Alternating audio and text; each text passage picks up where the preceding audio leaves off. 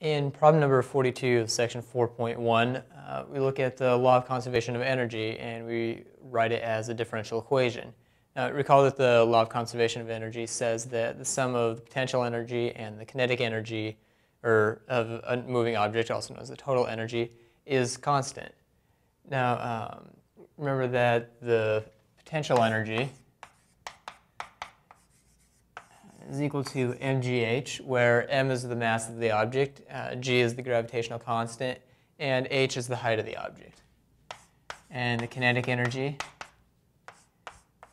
is 1 half mv squared, where again m is the mass of the object and v is the velocity of the object. Now, part A asks us to express this as a first order differential equation. Uh, so to express the um, total energy. So energy is equal to the sum of the potential energy and the kinetic energy, which is, well, mgh plus 1 half mv squared. But if we consider only velocity in the vertical direction, and if h is only modeling the vertical position of the function, then, uh, or assuming of course h and v are functions of t here, then v is simply the derivative of h. So this reduces to m uh, gh plus 1 half m dh dt squared. Now, part B uh, asks to show that uh, the second derivative of the height function with respect to t is equal to negative g. In other words, that uh, the acceleration is constant and it's equal to the gravitational constant, uh, which right should make sense. But uh, so we're going to do this by differentiating, differentiating both sides um, of the equation that we found in part A. Now, remember that the left-hand side here, the energy is assumed to be constant. That's what the law of conservation of energy says. So we have 0 on the left-hand side. Now this is going to equal uh, m and g are just constants. Have dh dt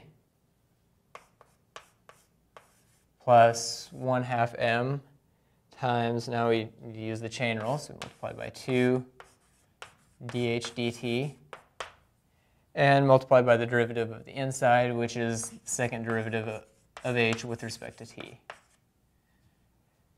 Now, we're assuming also in this problem that uh, the velocity is not equal to 0.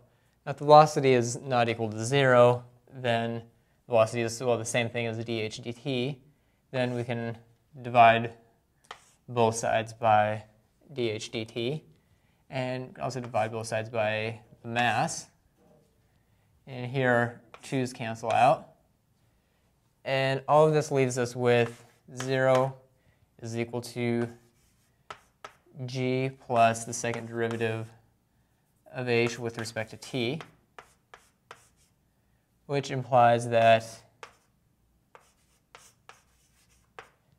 second derivative of h with respect to t is in fact equal to minus g. So the acceleration is indeed constant. Now, in part C, we look at the height function that we've become familiar with. Um, in fact, what I mean by, height, the, by the height function is the function that models uh, object fall, uh, a falling object.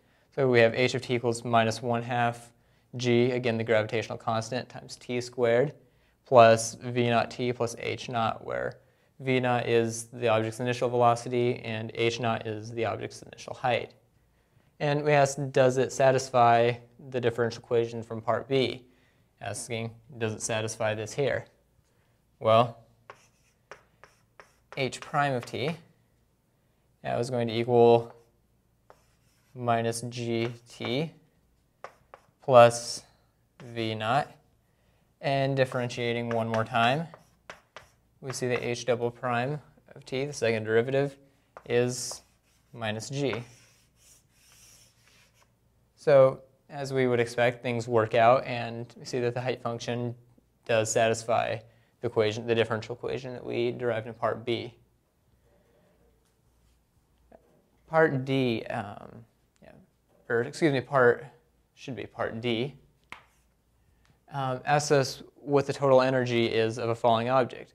So we're going to use the equation that we have in part C and um, try to express the total energy in terms of mg, v naught, and h naught. So we know that the total energy E is equal to uh, potential energy plus kinetic energy, which is all right, mg h, which is a function of t, plus 1 half mv squared, or 1 half dh dt squared. Now, h of t um, is given by the formula in part C. This is equal to mg, I have minus 1 half gt squared uh, plus v naught t plus h naught plus 1 half m. Now we have dh dt squared, and dh is going to be minus gt uh, plus v naught and quantity squared. Uh, we can simplify this a little bit and we get uh, negative mg squared over 2 t squared plus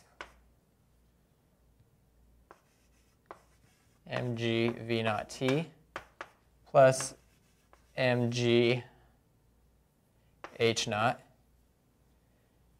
And here if we expand the um, expand this uh, quadratic here, we get g squared t squared minus 2 gt, or gv naught t,